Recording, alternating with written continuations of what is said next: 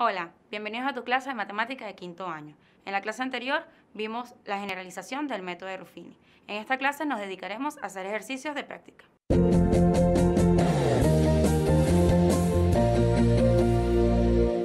Tenemos que dividir 2x a la 4 menos ax a la 3 menos 8x a la 2 más 2ax más 2a a la 2.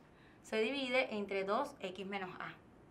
Este ejercicio se puede ordenar de dos maneras. En este caso está ordenado de forma decreciente con respecto a x. Tenemos el de grado 4, 3, 2, 1 y vemos que acá no existe x, por lo tanto tiene grado 0. Pudiésemos también ordenarlo basándonos en la variable a. Entonces, para poder aplicar Ruffini en esta división, el primer